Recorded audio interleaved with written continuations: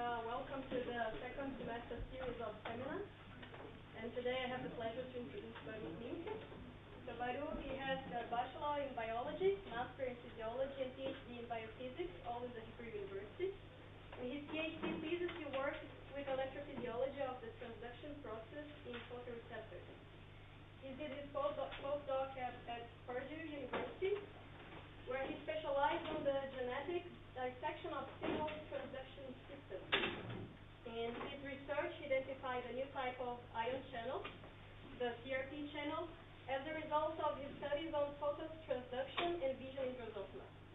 And today he's a full professor of physiology at the University and an OZAC member. Please.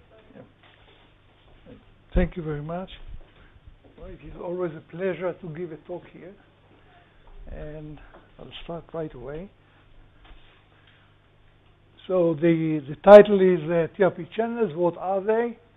Uh, I'm not sure if the young people know what is TRP, but I'll explain. Why are they important? And uh, why it is important to understand uh, uh, to why, why they're important for understanding brain damage following ischemia, and this will be the end of uh, my talk. And uh, have to be here. Yeah, okay. Uh, the scope of my, my presentation is uh, uh, first I'll tell you what means genetic dissection, for those who, uh, who don't know. Uh, then I'll tell you some history about the discovery of the TRP channel. And then I'll show you that it's part of the phosphoinositide cascade of vision, and I'll explain what it means. Uh, and then uh, I'll tell you about uh, late studies in which we study the, this is the main topic, the TRP gating, by using hydrolysis of PIP2 without activation of phospholipase C. This may be Chinese to some of you, but I'll explain what it means. Uh, and uh, uh, finally, I'll show you that these channels have high sensitivity to anoxia, to ischemia, and and this has implications on uh, brain damage, on stroke, and the other the neurodegenerative disease. Okay, so I'll uh, so I'll start with the uh, what it means genetic dissection. So I think the easy way to understand what it means is imagining that uh, an alien, Chayzar, comes to Earth and he finds two computers. Uh, he's intelligent, but he has never seen a computer. So he opened the machine and look inside and see many chips and wires, as you know. And uh, he try one way is to look at them and to try to figure out how it works. And obviously, this is similar what we are doing in the brain, by the way. And uh, obviously, this is a very difficult task. Another simpler way is just to remove one component and then to, comp uh, to compare the performance of the computer with the missing component to an intact computer. And uh, this is the essence of uh, the genetic dissection. So we remove one protein by removing one gene by a mutation, and then ask by comparing the mutant to the wild type what is wrong. Then we put it back and remove another component, and by this painstaking uh, procedure, hopefully, we'll find out how the system works. And there are two versions of this uh, genetic dissection. There is the uh, reverse genetics. This you are familiar by, for example, in knockout mice. You decide that this specific, specific protein is extremely important, and you remove it by a, a tedious procedure, and you get a knockout mice, and then you try to figure out uh, what is wrong and why this protein is so important. Uh, the disadvantage of these, first of all, especially in mammals, there is a lot of redundancy. And you think you are working on the most important protein on Earth, you remove it by knockout, and then nothing happens uh, because of redundancy or other reasons. And also, uh, this is a biased approach because you decide that this protein is important. The, the other approach is, uh, is forward genetics. And the, here you do a random mutagenesis, and uh, you deci- here you have to make decisions. You have to decide on what chromosome you uh, you concentrate and what uh, what trait you want to study. For example, if you want to study vision, you follow visual defects. If you want to study olfaction, you follow olfaction de- defects. And uh, and again, you compare the the wild type to the mutant, and you try to figure out uh, what is wrong with the mutant, why it gives this specific phenotype. Um, the advantage of this method, although this is also very complex, is that this is completely unbiased approach. And uh, indeed, this approach uh, led to discovery of completely novel proteins and processes, as I'll show you later on. Uh, so this approach of genetic dissection was initially applied to microorganisms to study biochemical processes or biochemical cycles. And uh, only in the 60s, uh, three labs in the world decided to apply this approach to study neuronal processes. Uh, so one lab was uh, the lab of uh, Seymour Benzer at Caltech, and he wanted to study learning and memory. And the lab of Martin Heisenberg in Tübingen, he wanted to study optomotor response. And the lab of Bill Pak, where I did my postdoc, he was more modest. He wanted to study phototransduction. Uh, all of them used as a preparation the, uh, the Drosophila, the Drosophila fly, and they used the, to screen mutants by using the visual system. And the reason is uh, obvious. First of all, at that time, there was also already 60 years of experience with Drosophila. It's a preferred animal for uh, genetic dissection because of the short lifetime, because of the genetic tools that have been developed over 60 years. And the visual system, you can see this is a scanning EM of the head, and you can see how big are the eyes, the compound eyes. So vision, because this is a flying animal, obviously vision is very important for this animal. So the, the eye, as you can see here, is composed of about 800 repeat units uh, called ommatidia. Each one has a private lens, and you can see here in, uh, in uh, transmitter electron microscopy, they are composed, these are the ommatidia. Each one has a lens here. This is a cross section, and you can see the photoreceptor cells. These photoreceptor cells, there are eight photoreceptor cells in each one of them.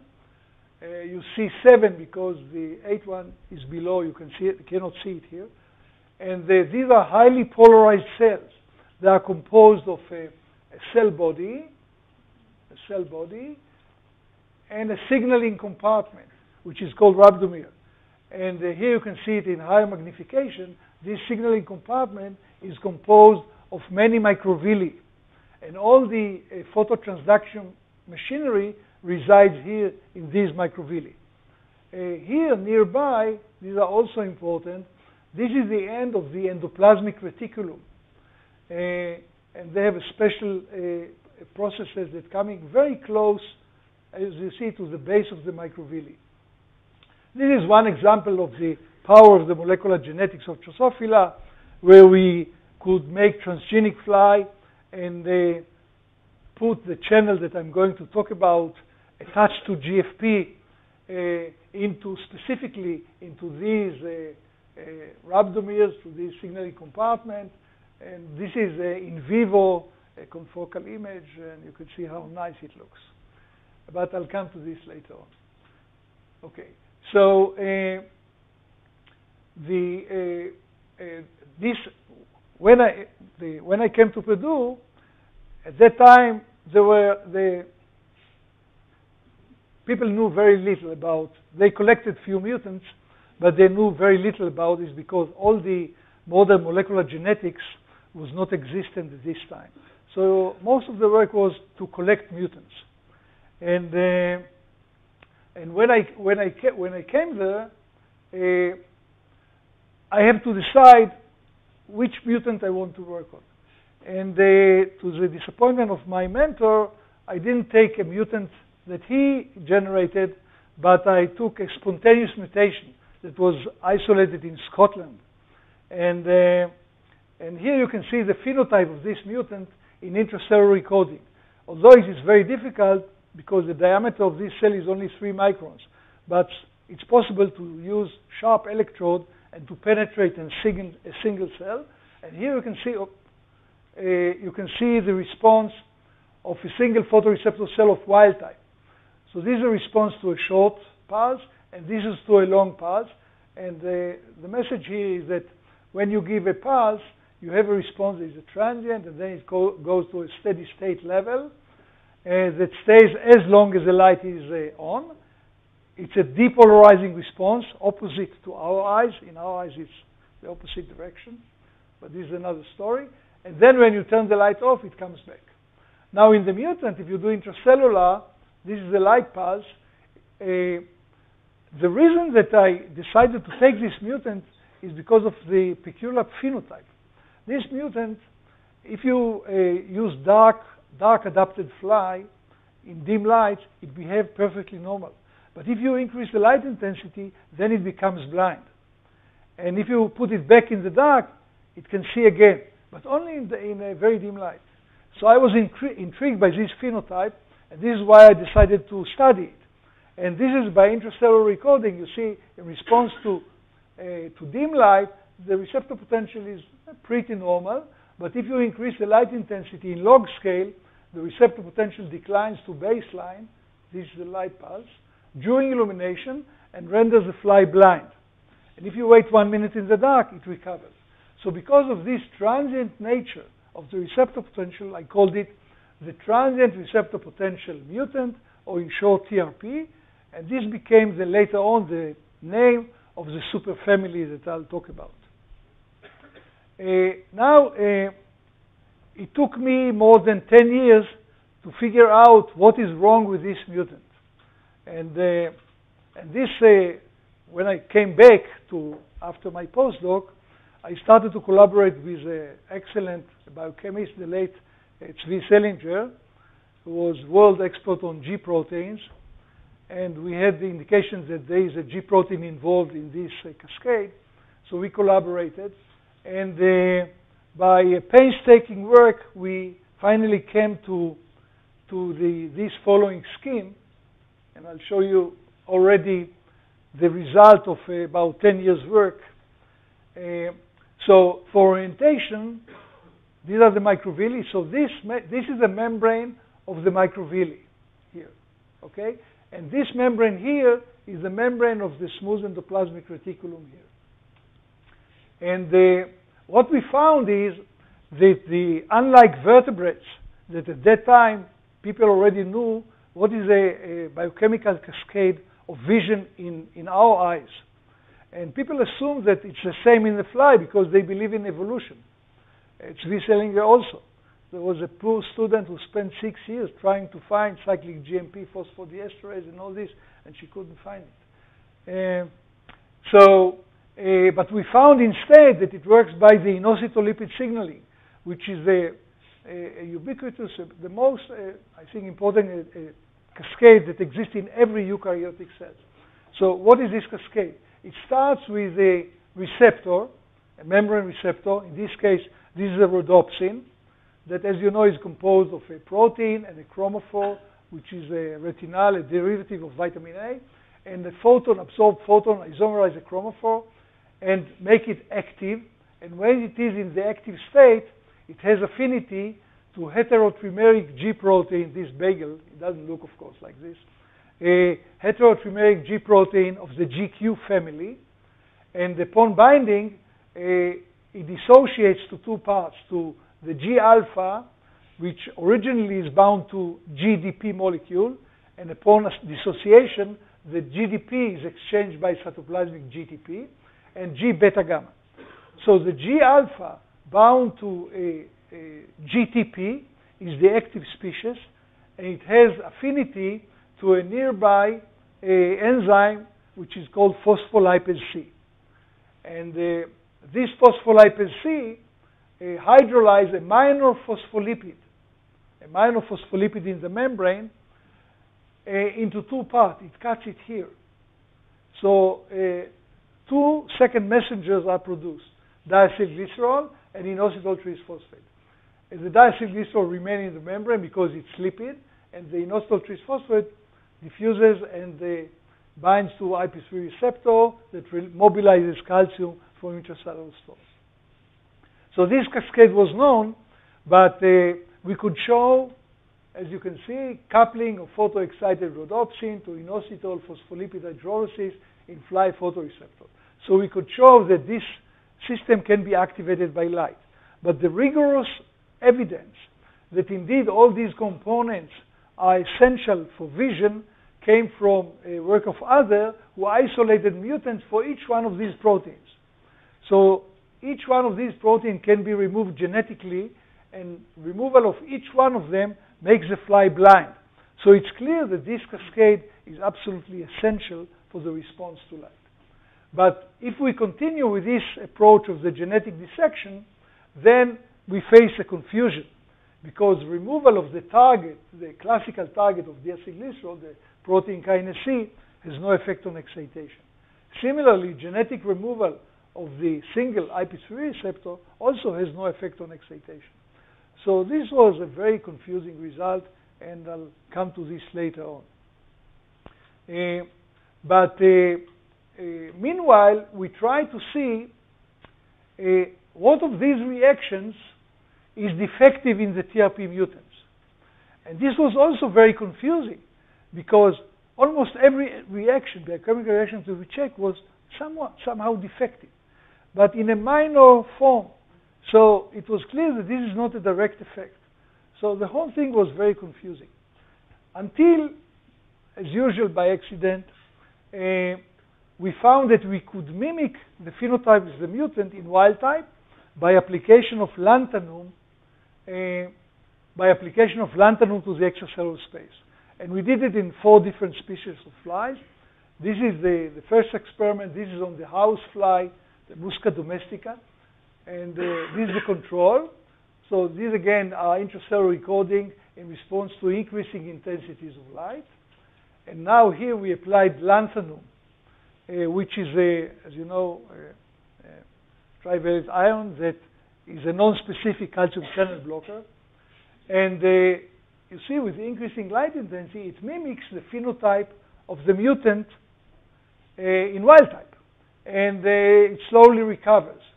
Uh, on the other hand, if we took the equivalent mutant in the bigger fly, because an equivalent spontaneous mutant equivalent to the Drosophila TRP was found also in Australia. It was called NSS, no steady state, and uh, we had it. And when we put the lanthanum on this mutant, uh, there was no effect. Uh, so immediately when we got this result, uh, I was enlightened. Oh, it must be a calcium channel, channel transporter, uh, because this is what lanthanum is doing, blocking this. Uh, and of course, we were very excited, and we wrote two reviews because all the pieces of information that we collected over the years now all fit together. And uh, we published two reviews, and uh, nobody was impressed. Uh, there was no reaction to this, which was uh, a little bit disappointing. So then I decided to show it directly and more rigorously. And luckily, at about the same time, a scientist in, uh, in uh, Cambridge, in England, uh, Roger Hardie, he applied the patch clamping technique to Drosophila photoreceptors. And so, so you can see here, and I suggested him to collaborate on this project and he came to Jerusalem. We learned from him, and uh, it's a very difficult uh, method. That even today we are the only lab in the world who can do it, which is nice, but uh, still it's very difficult. It takes a year to teach a student how to do it, and uh, so this is the isolated ommatidium, and this is a patch clamp pipette, and you can fill it with a fluorescent dye, and you can see that it, by whole cell recording, it marks uh, one of the cells. And uh, by, by, using uh, this technique, Uh, we compare the uh, light-induced current of the mutant and wild type, and we could rigorously show that indeed uh, the TRP is a, is a light-activated and calcium-permeable channel, and we submitted it to Nature, of course, and it was immediately rejected on the ground of lack of general interest. But luckily, it was accepted in Neuron, and, uh, and this is part of the abstract that I sign on every word even today, although this was in 1992. Using whole cell recordings from Drosophila photoreceptors, we show that the wild type response is mediated by at least two functionally distinct classes of light sensitive channels, and that both the TRP mutation and the calcium channel blocker lanthanum selectively abolished one class of channel with high calcium permeability. We conclude that the recently sequenced TRP protein, uh, two years before, as an exercise in molecular genetics, two people uh, in Berkeley, uh, Craig Montell and Gerry Rubin, they cloned and sequenced the TRP gene, and uh, they came to the conclusion, at that time it was unknown protein, so there was unknown membrane protein. So now we can say that this, uh, the, uh, the recently, where is it? Uh, recently sequenced TRP protein represent a class of light-sensitive channel required for inositol-mediated calcium entry. This we knew from the biochemical study, and suggest that this process is necessary for maintain excitation during intense illumination in fly photoreceptors. Now, after this, with all this information, that this channel is a calcium permeable channel, it's a target of the inositol lipid signaling, which is the most important uh, cascade that people were looking for the target channel for years of this cascade. And uh, because uh, the sequence was known, people started to understand that this is something important, and they were looking for uh, mammalian homologs of this protein. And uh, so what is the structural features? I'll show you uh, the result, but before that, what is the structural feature of this channel? So in general, it has a structure of uh, what you know, the voltage-gated channels with a six transmember domain S1 to S6 and a, a pore region between S5 and S6. And uh, this is like the potassium channel. It's a tetramer, so this is one wall of the channel. But unlike voltage-gated channels, the charge residues, the arginine and lysine in S4, are replaced by non-charged residues. So this channel is not voltage gated. And in fact, till this very day, we don't know how it is gated. And this is the main topic of my talk today. Uh, although, uh, although there are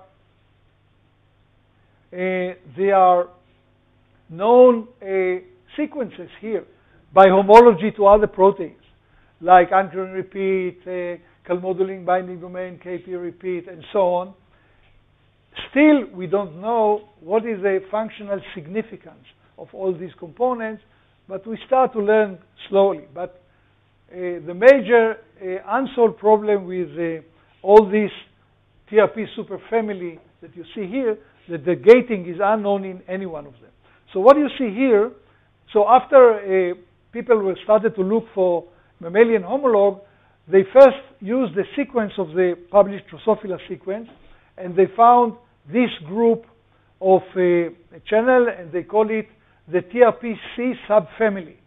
And the C stands for classical, because the Drosophila becomes classical. Uh, just to give you some uh, flavor of the importance of these uh, channels, for example, the TRP uh, C2 is a famous uh, channel that is essential for pheromone sensing. And there are some people in the room who are interested in this uh, process, as you know. And for example, TRPC3, Yossi is not here, but if uh, you make a mutation that make it constitutively active, uh, it, uh, it makes the, it affects the function of the cerebellum, and it makes the, the, the mice uh, ataxic. And uh, there is an interesting story behind each one of them, and there is a lot of work on each one of these channels. So this is one subfamily, the TRPC subfamily. The TRPM subfamily, also there are famous members. Uh, for example, the TRPM5 is essential for taste perception.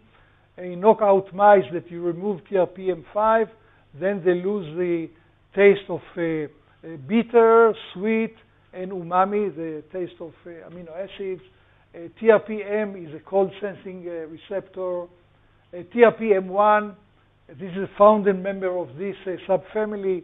The M stands for melastatin because this is a, a tumor suppressor of melanoma, and now it was found in the few, last few years that this is an essential channel which is cause the sign inversion in the on bipolar cell in our retina. The TRPM1, uh, uh, this is important for magnesium homeostasis and uh, so on. So there is interesting story behind each one of them. Another very important family, and you heard about this in the lecture of Alex, the TRPV subfamily, and the founding member of the TRPV1 is the famous capsaicin receptor that is activated by the hot ing ingredient of chili pepper, capsaicin, and it is involved in a, in a sensation of burning pain, a certain kind of pain. All of them are called the thermal TRPs because they are the only protein known to signal for gradient of temperature. They are responsible for temperature sensation, a, a warm temperature, hot temperature, TRPM8 for cold temperature. And uh, again, there is an interesting story behind uh, each one of them. The TRPA, the A stands for ankyrin because it has, in the sequence that I show you, there were only four ankyrin repeats. This one has 27 ankyrin repeats. This is why you call the TRPA. And uh, this is also cold sensing. It's uh, responsive to noxious cold. It's also mechanosensitive. And uh, you can activate it by many ways. Uh, TRPN also is a mechanosensitive. There is no mammalian homologue. The TRPP and TRPML were found because of genetic diseases.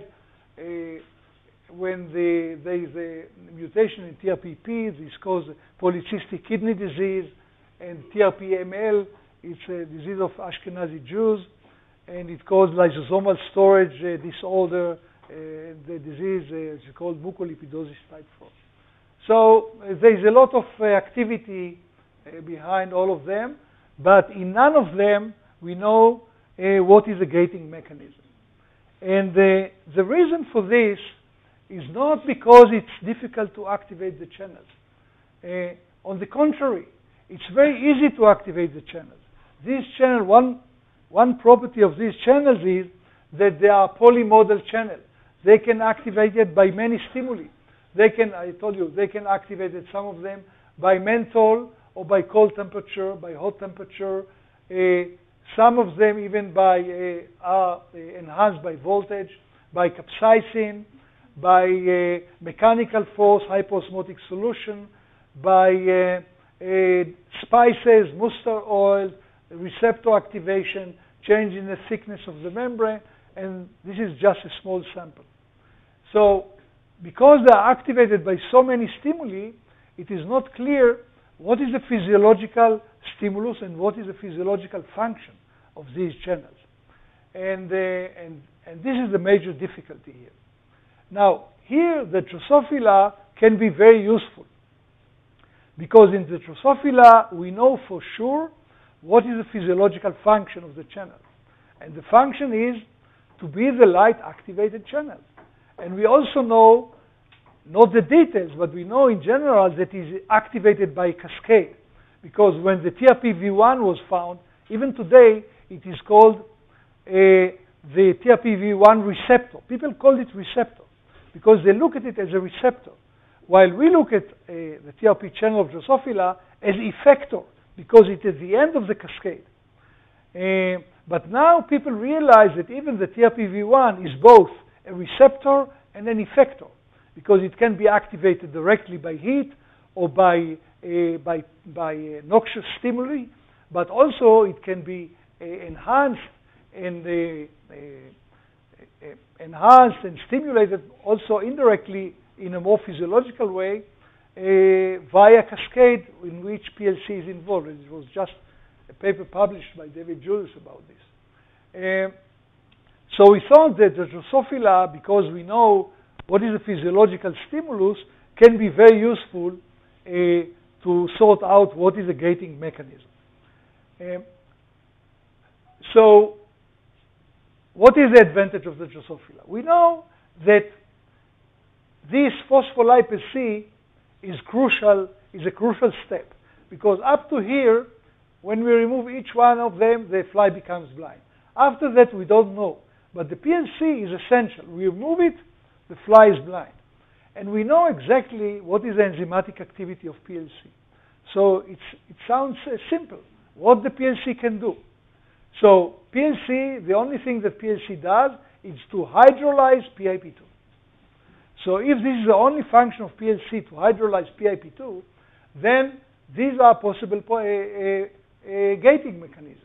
One gating mechanism is that PIP2 is a kind of inhibitor of the channel. And when you hydrolyze it, you remove the inhibition. So the gating may be disinhibition. So this is one possibility. Another possibility is that the diacylglycerol here doesn't work by activating protein eh, PKC, but it works directly as a second messenger that activate directly the channels. And indeed, in some mammalian, people show that when they put diacylglycerol, they could activate the channel. Another alternative that is not the diacylglycerol, but a product of diacylglycerol, polyunsaturated fatty acid. So if you cut it here, you, you, you make a polyunsaturated fatty acid, as known today as omega-3, for example, is a polyunsaturated fatty acid, good for health. So this is, for example, arachidonic acid that is a precursor of many second messengers, and it's a very imp important uh, messenger. So this polyunsaturated fatty acid could be messengers. And uh, I'll show you that none of these possibilities uh, are uh, realized, uh, which make it very confusing. And finally, I'll end by proposing something completely different, uh, that by changing the lipid packing in the plasma membrane. And I'll explain why we think that this is a mechanism, and, uh, and still it's in a speculation stage, I would say. Okay, so let's go uh, step by step to our experiment uh, to examine all these possibilities. So one of the problems uh, with PLC that it sounds like PLC is doing only one thing, but eventually, because so many uh, things happen, it can be this or this or this, there are too many possibilities. And we, want, we wanted to limit the possibilities. So we asked, if we want to say, to, to look if this is this function by this inhibition, we have to find a way in which we remove PIP2 without activation of phospholipase C. And then we avoid all this calcium mobilization and the production of all these byproducts. Sorry. So uh, how one can do it? So here we adapted a method that was developed by other people, and the, and the principle you can see here. First of all, we express, we use the, not the TRP, but the other channel, the TRP-like, because for some reason the TRP cannot be expressed in tissue culture cell. So, and the TRP-like, TRPL, can be expressed. And since they are similar, so I decided to work on this channel. So we express it in tissue culture cell, in HEK cells. And then, in order to specifically hydrolyze PIP2, we decided to express also a PIP2 specific phosphatase. There is a PIP2 specific phosphatase from yeast, but the gene is known. So we express the PIP2 of, a, of yeast in these cells, but the problem that this PIP2 is constitutively active. It works all the time. And it is expressed in the cell body. So what we did, we attached to it component of the immune system, the FKBP, and we tag it by CFP. In order to bring it, the phosphatase to the membrane, we express another protein from the immune system, the Lin linker, attached to FRB. The names doesn't matter. What is important is that upon application of the immunosuppressor rapamycin, which is hydrophobic, rapamycin penetrates and dimerize these two components and bring the phosphatase close to the plasma membrane. and then it hydrolyzes uh, PIP2. It, cle- it, chopped the terminal phosphate. So we thought this is a way to reduce PIP2 upon signaling without activation of phospholipase C. In order to monitor this reaction, the hydrolysis, we use another trick that developed by other people. Uh, one can take the what is called the PH, the pleckstrin homology domain of another PLC, PLC delta, that binds specifically PIP2. And then you can attach to it a GFP. And upon hydrolysis of PIP2, this uh, PH domain with GFP translocate from here to the cytosol. And because it's fluorescent, we can follow this translocation, and this is, uh, we can, by this way, measure the hydrolysis of PIP2. And now you can see how these experiments look like. Okay, so these are the cells, and here we express this uh, uh, PH domain attached to GFP, and you see that it marks the plasma membrane where PIP2 resides. Now, upon application of rapamycin, you can see that there is a, the, the GFP moves from the surface to the, to the cell body. And we can make a scan in a confocal in this line, and we can measure the pixel intensity. Uh, this is before in the control, and then it changed to this, as you can see here. And now we can take samples as a function of time, and uh, you see here we apply rapamycin, and you can see that there is a translocation of the uh, uh, GFP PH to the cell body. And uh, this, this is a, a, monitor of the hydrolysis of PIP2. Uh, now, at the same time, we also express the TRPL channel. And we could, by use, at the same time, we can use patch clamp pulse recordings and measure simultaneously the hydrolysis of PIP2 and hopefully the opening of the channel. And how we measure the opening of the channel? We use a voltage ramp, a sawtooth, a voltage ramp from minus to plus voltage, and we, here we plot the IV curve, and uh, we gave this uh, voltage ramp every five seconds, and here we monitor it at uh, uh, plus 80 and minus 80 as a function of time. So this is in a control. You can see there is no current. So this is here at zero. Now we apply rapamycin. Rapamycin causes the translocation, the hydrolysis of PIP2, and, and still there is no current.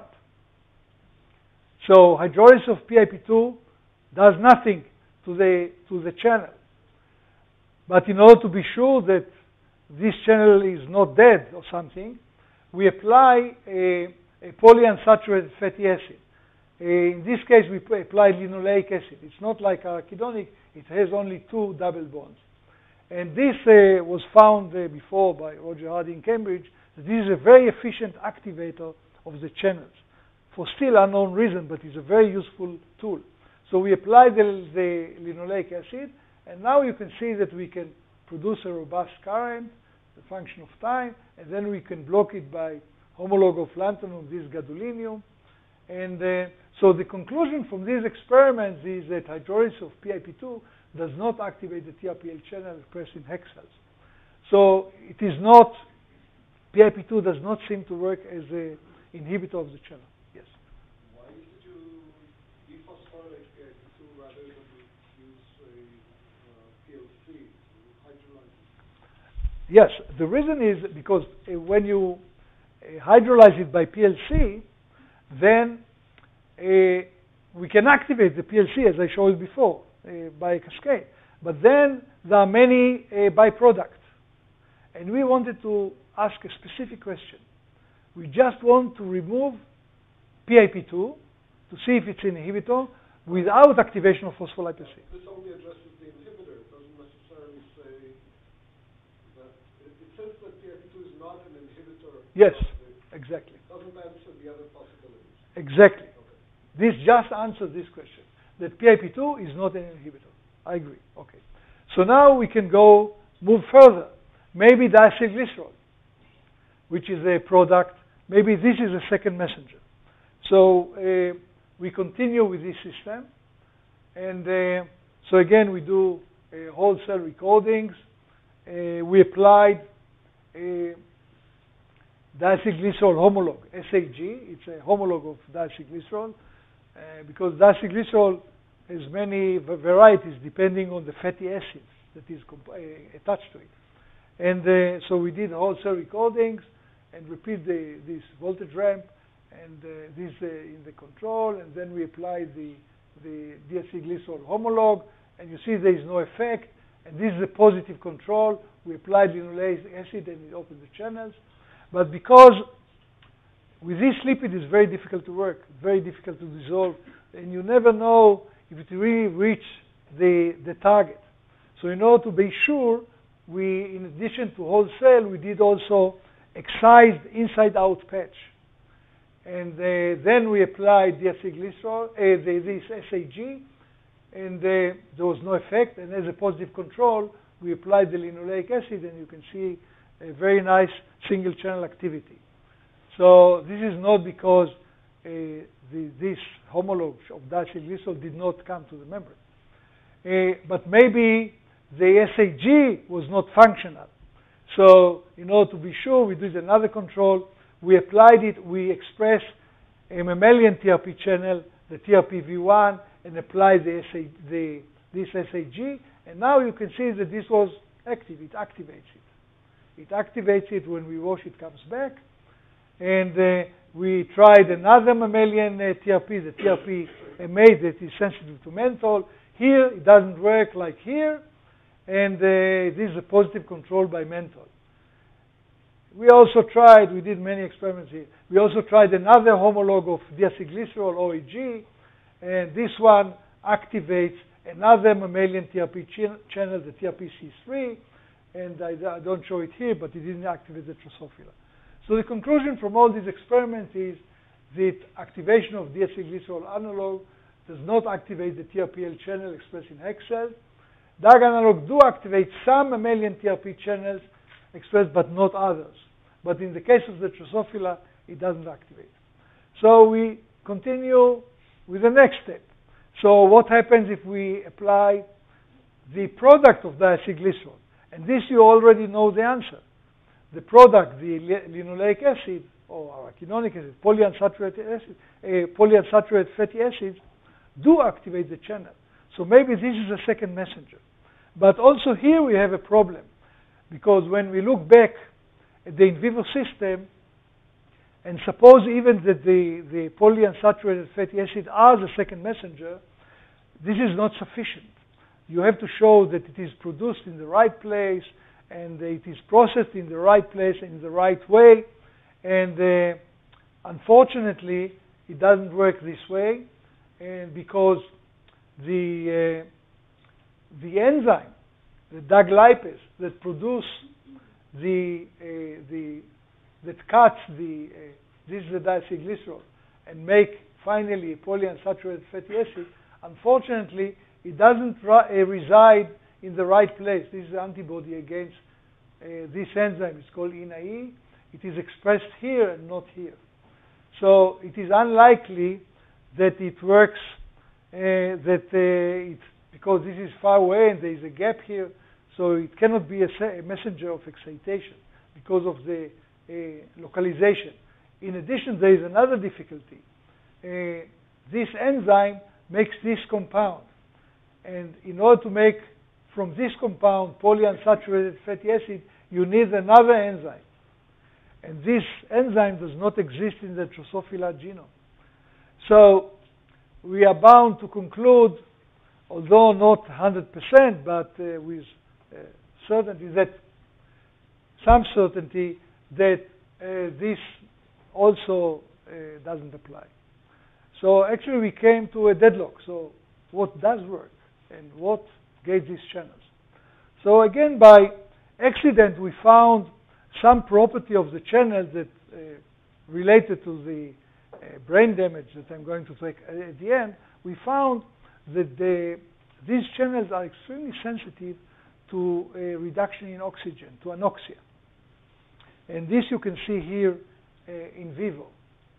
Um, so an easy way to record from the fly is to simple to put gross electrode on the eye and record the electroretinogram, which is like the EEG of the eye.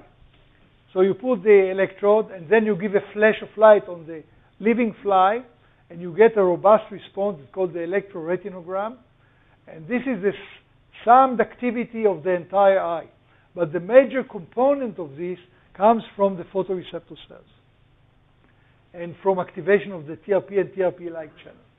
So here you can see uh, how we do the recording. So we put this electrode. Uh, this is the light monitor. We give a light, and we get this response.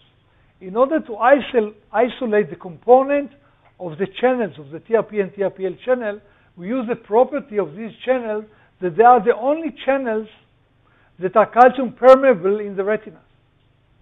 So we applied calcium selective microelectrode into the retina.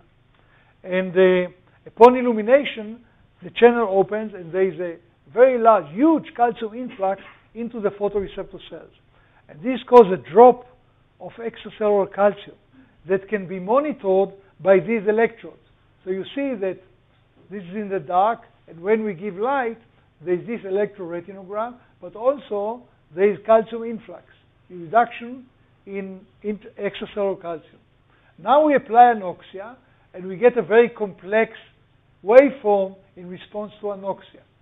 But when we look at the calcium signal, you see that all these complex waveform uh, is not reflected here in calcium influx. And we found later on that this comes from the glial cells that surround the photoreceptor cells because there is a, a potassium efflux and this depolarizes the glial cells. And, uh, but this is out the scope of the, what we're talking about. What is interesting that now, after some, some delay, there is a large calcium influx showing that these TRP and TRP channels were opened. Now, if we give another light, you see there is no response to the light because all the light sensitive channels now are open, saturated. Now, if we remove the, the nitrogen, then everything comes back. It's completely reversible in a short time. In order to make sure that this response, yes? I don't understand the logic of this experiment because if you put anoxia, you uh, release of calcium from intracellular stores, and then you decrease driving force for calcium influx. So why are you surprised that you're not getting calcium influx if the driving force for calcium influx is put up? Here? Or here? you get uh, increase in calcium and then you don't get a response.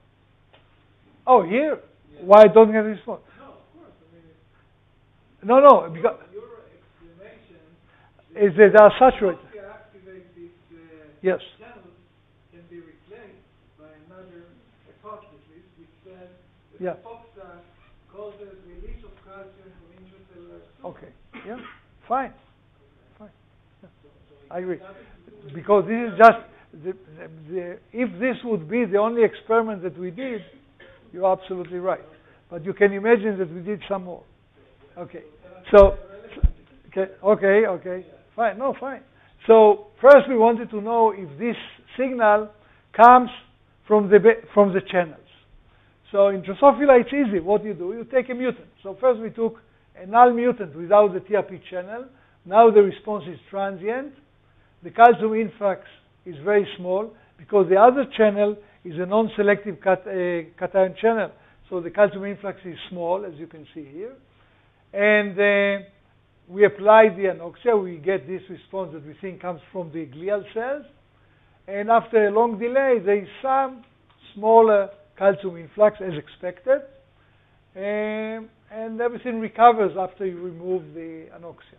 Now we take the double mutant, the mutant that we remove both channels, the TRP and TRP-like. Now we get only the response of the glial cell, and there is uh, virtually no calcium influx, and of course no light response because the fly is blind without the channels. So these experiments told us that the channels are the target of the anoxia, and the and they are the what caused this. Uh, uh, so this response here that we get comes from activation of the channel, and also this calcium influx is via the channel. Now we wanted to know, anoxia is doing everything. So at what level of the cascade it activates? So again, we could took another mutant. This is the advantage of Drosophila. We took a mutant without the phospholipase C. Mutant without phospholipase C. Of course, it's blind. We give light, there is no light response. Now we give the anoxia, and there is a similar, not exactly, but similar response without light in blind flight. So this shows that this anoxia affects a late stage of the cascade after phospholipase C. And it fits that it activates the channels. But this is ERG and this is extracellular recording. Obviously, we wanted to do it a little bit, a little bit more uh, rigorous. So we use whole cell recordings. So how do you mimic anoxia in whole cell recordings? One way is to, in the patch pipette, usually we put ATP. Now we do not put ATP. And we found that the light response, if you give bright light, is a major consumer of ATP because many reactions require ATP. So if you give few light pulses, the channel open, uh, the, ch uh, the channel opens spontaneously because of shortage of ATP. So this is like anoxia, but we could do it more directly by applying a mitochondrial inhibitor, DNP, which is uncoupler. It uh, eliminates ATP uh, from the cell, and now after some delay when we apply this DNP, the channel open. We know that they're open, we give voltage steps. This is in the dark, you see there is no current. We give a series of voltage steps.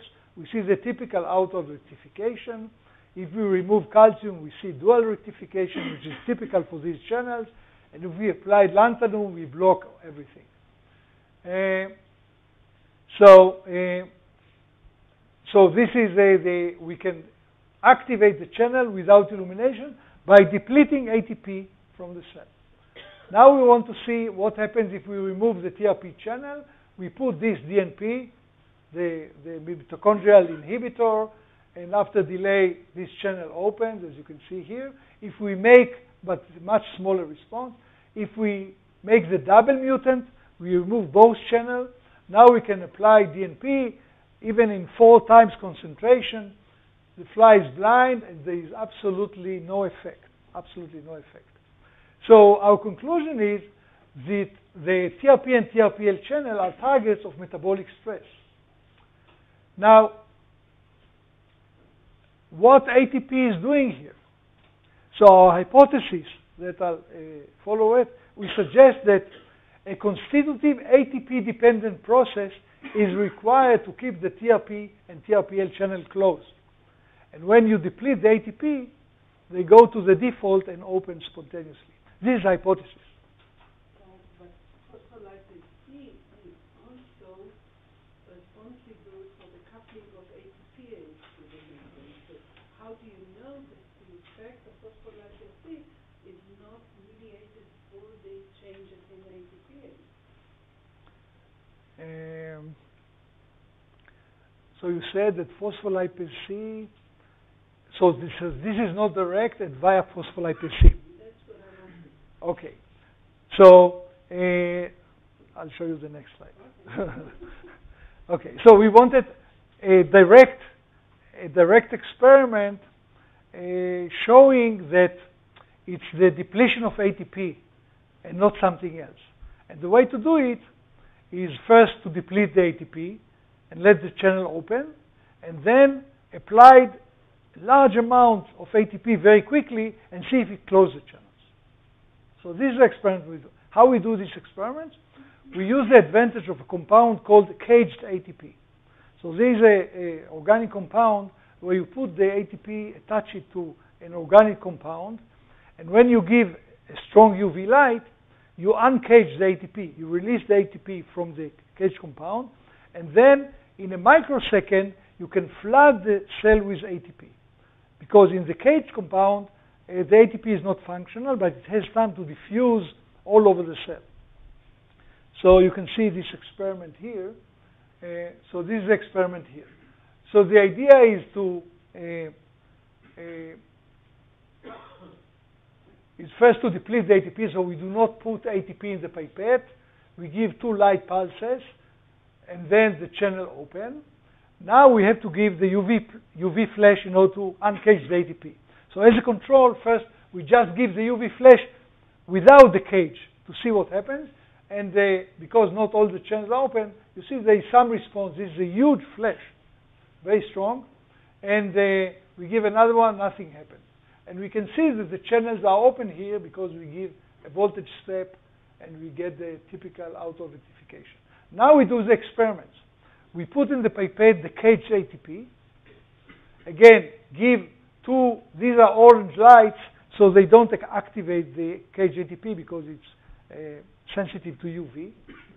And then the channel open, and you see the current. Now we uncage the ATP by the UV flash. And you see every time we give the UV flash, we suppress the response. We give another one, we suppress. In order to be sure that this is the channel, we change the membrane voltage, and now it is reversed, and we put it back. So it was clear that this uncaging of the ATP closed the channel. We could do it in another version. We can apply DNP, the metabolic uncoupler, and uh, after some time the channel open, and now we put series of uncaging flashes, and again we could suppress the, uh, the, the current of the channel. So our conclusion is that ATP is somehow required to keep the channel closed. And, uh, and the question is why? So one, one can imagine that perhaps there are phosphorylation sites on the channel, and uh, these phosphorylation sites regulate the opening and closing of the channels.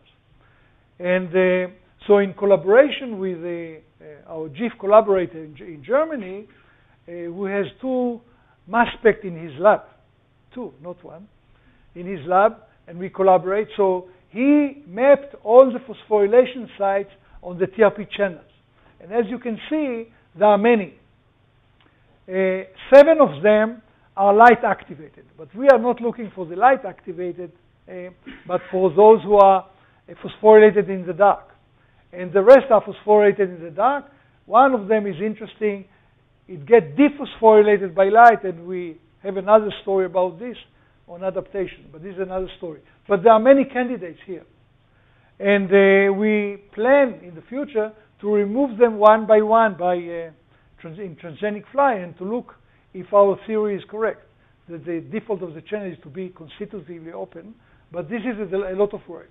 So meanwhile, in order to get some hints if our hypothesis is plausible, we thought maybe we just make the channel constantly phosphorylated and look what happens.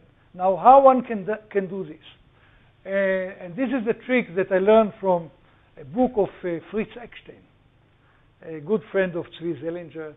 Uh, and he found that a compound that he made, which is ATP gamma S, in which one oxygen is re replaced by sulfur in the terminal phosphate. Now, surprisingly, uh, the protein kinases do not differentiate between ATP and ATP gamma S. So they use it. If we remove the ATP from the cell and put instead of ATP, ATP gamma S, eventually all the phosphorylation sites will get phosphorylated. But luckily, although uh, it works in, in cells, in biology, that always when there is a protein kinase, there is opposing protein phosphatase. And always there is a dynamic equilibrium between phosphorylation and dephosphorylation, all the time. And by some miracles, the protein phosphatases, they don't recognize it and they cannot hydrolyze it. So the outcome is that the protein becomes constantly phosphorylated by ATP gamma S. So this is what we did here. So we put in the pipette, instead of ATP, we put ATP gamma S. And now we give light pulses as a function of time. This is 30 seconds after we apply the ATP gamma S. Five minutes, 10 minutes, and you see the response gets smaller and smaller. And after additional 30 minutes, it's like the double null mutant. There is no response to light any longer, even no response to DNP. If you do it uh, differently, you can get when you put the DNP, you can still get small response, but then eventually you lose the response. And we found that this reaction is also magnesium dependent. Because if you do it without magnesium, and the kinase is known to require magnesium for activation, if you do it uh, without magnesium, then you apply the ATP gamma S, the response is suppressed, but you cannot suppress it completely. And DNP also activates it. So our conclusion from all these experiments is that uh, perhaps the reason that these channels are polymodal is that they like to be in the open state. So this is the default of the channels. And you need an active process in order to keep them, keep them closed. But this leaves them closed, but in some kind of an excited state. And now they are very sensitive to many triggers. So this is why these channels are, can be activated by many triggers, which can be chemical, mechanical, or others. So this is our hypothesis. I mean, this is a hypothesis, and uh, for to explain the polymodality. So what can be the trigger in the case of the fly, of the photoreceptor of the fly? Yes, I, I, this is the Okay, and okay. So this, this is the conclusion. So I'll tell you the trigger in the conclusion. So uh, first I show you that hydrolysis of PIP2 does not activate the TRPL channel expressed in HEK cells. And we think that PIP2 is not an inhibitor of the channel. I stress it because there is a lot of debate about this in the literature of the people in this field. Uh, now, uh, also I showed you that the TRP and TRPL are targets of metabolic stress. Now, this property of some mammalian uh, TRP channels uh, makes neurons expressing uh, some kind of TRP, for example, TRPM7, also TRPM2, vulnerable to ischemia and hypoxia. So I think that this property of TRP channel, making a channel that is calcium permeable and it's sensitive to anoxia, I think this is an accident of nature because uh, this makes the uh, put the neurons that express this channel at high risk. And uh, as you know, a stroke lead to glutamate toxicity and cell death and all the symptoms of, of, stroke. And because NMDA channels are involved, people tried for many years to use NMDA antagonists as a, as a, a drugs for against stroke. But all these experiments failed. And uh, recently, a guy in Canada, he found that uh, one mammalian TRP channel, TRPM7, that is expressed mainly in the hippocampus and the cerebellum, but also all over the brain, uh, is very sensitive uh, to metabolic stress. And he showed that inhibitors of TRPM7 could relieve many of the symptoms of stroke, and now he's working on uh, drugs that is based on TRP channels. So it could be that uh, people went to the wrong direction, and it's a combination of the glutamate toxicity and TRP channels that are responsible for neuron cell death in stroke. And uh, this is under investigation. But now, uh, let's go to the last point. So what is the trigger? What is the trigger? What we think now is a trigger that opens the channels. If it's not all these uh, mechanisms that I was explaining today. Uh, so we think that the trigger is a change in the membrane lipid packing, which affect channel plasma membrane lipid interaction, and this may activate the channel. Now, why we say that? If you look at the structure of PIP2, it has a hydrophobic region and large hydrophilic head group. When it is converted by, converted by PLC into diacylglycerol, diacylglycerol has only OH. It has a tiny a hydrophilic head group. And this causes a major change in lipid packing of the membrane. And this mechanism is known to activate mechanosensitive channels. So maybe the TRP is a mechanosensitive channel after all and it is activated by this mechanism. So at the moment, this is a speculation. But uh, there was a very recent paper by Roger Hardie, who works uh, in parallel with us. And he, what he did, this was published in Science, I think, two months ago. Uh, he found that he measured simultaneously the light-induced current and mechanical force by atomic force microscopy.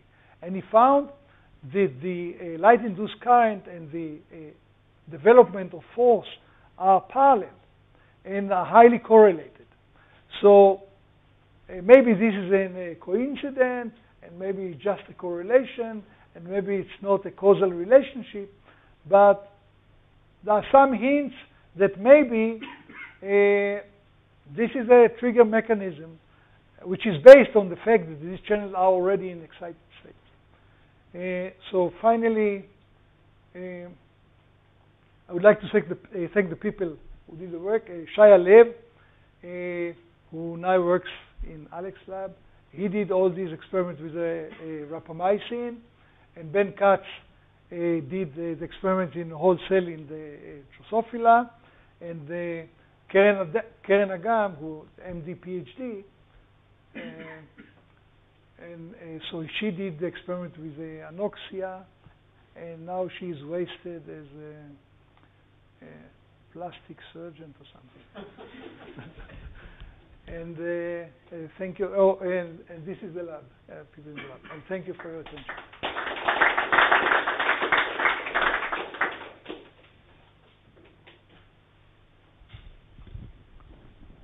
It's great. Thank you very much. Just a question about this latest paper by David Julius that shows that in artificial liposomes, where there's no PIP and no internal signaling, GP1 channels are, are still activated by, by, by, by heat. Yes. And he showed that PIP2 actually inhibits GP1 channels. So is it just because of difference between GPML and GP1?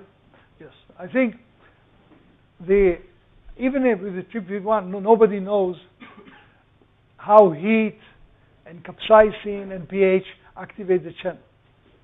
Uh, and you can modulate it, I agree. By There you can inhibit it by uh, PIP2. Uh, I mean, the, the, the, you saw the large uh, superfamily, and the, they are, there is a large divergence in, in, in, a, in a amino acid sequence. So obviously, the way the different channels in the superfamily are triggered, activated, sensitized, must be different. But I think that the principle, the principle is there.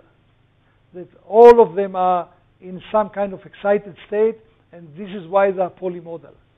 And uh, different stimuli activate them. And uh, one has to, uh, I mean, like in cancer, we say cancer, but uh, you know, cancer is not a disease, there are many. So in the TRP, it's the same. I mean, excuse me for the comparison.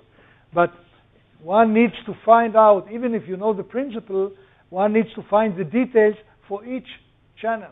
Are you predicting that hypoxia will turn on all of them? No. In the mammalian, only two of them are uh, activated by hypoxia. Oh, you mean all of them have been tested? Uh, no, people didn't test it, but uh, few were tested, and not. Uh, we also tested some of them, and only two. And and uh, so every channel has its own speciality uh, but it's enough in the brain to have two, like to make stroke. Yes. Well, if you, if you can change the level of cholesterol in the membrane, you can really change very nicely the, the packaging of the membrane. So, will, is it possible that cholesterol will activate or inactivate all the channels? All the TRP channels? Daphna, you, this is the introduction to my next talk. cholesterol has a dramatic effect, dramatic effect on these channels. Yeah, cholesterol has a dramatic effect on the gating of these channels. Yeah. It seems like you have quite extensive transmembrane area. I'm wondering because there is, there is known fact that the metabotropic and the nicotinic uh, receptors they are water sensitive. So why might it be that yes, some of them are uh, they are not gated by voltage, but they are modulated by voltage. Yes, the IV curve is nonlinear and it's intrinsic. Some of them they have, like here, there is a, the you saw the IV curve is nonlinear, which is typical for also for voltage gated. But this nonlinearity, this is another story. This is nonlinearity is a byproduct of uh, open channel block. So if you remove uh, the divalent, it becomes completely linear. Uh, but there are some TRP channels, like TRPV1, for example, that they are intrinsically voltage sensitive. The IV curve is nonlinear, and it's not because of divalent open channel, it's intrinsic property. But the problem is how to explain it, uh, the effect of voltage, because there are no charged residues in the transmembrane. They are a little bit outside. But maybe the mapping is not accurate. And what people think outside maybe is just at the edge. On, there's a lot of controversy about this. Some will even argue that the changes in voltage dependence that will open the channel in, in, in the stage of information or, or, or something. Yes, uh, yes. There, there is a theory how this uh, famous TRPV1, the capsaicin receptor, works. Uh, uh, they called it gating, uh, gating by shifting. So they said that uh, what he does just move the, uh, the, the IV curve on the voltage scale, and this is how it opens. But uh, there are lots of problems with this theory. I don't think it's correct. So, as you know, sensory neurons have a lot of different kinds of, of, of TRP receptors on them. Yes. Uh, if I remember right, it was only two or three minutes of hypoxia, which was enough to turn these things on. Yes. Uh, Not two minutes, one minute. One minute. Yeah. You can put a pressure cuff on here and stop all circulation to your hand. Uh, and for the first five or ten minutes, really nothing happens. So if that were to turn on a lot of different TRP receptors, you would feel tingling or pain or something you would feel. But there's one very famous phenomenon that you do feel, that if you now put a piece of ice on this hypoxic hand, it gives a very intense burning sensation, not a cold sensation, a burning sensation. Wow. So uh, this has always been interpreted as something in the CNS. But I'm, in, in light of what you've been saying now, I'm just wondering whether in this state, the, the receptors are about to be opened, but they haven't been opened yet. Maybe now the cold is what opens TRP1 or whatever causes burning sensation, and that's what causes it. Does, does it make any sense to you? A lot of sense. yeah. Yeah, because they are so flexible, there are many possibilities to explain many phenomena. But the problem is to nail them down and show that this is really the thing. Yeah. ATPase inhibitors. Uh, let me think.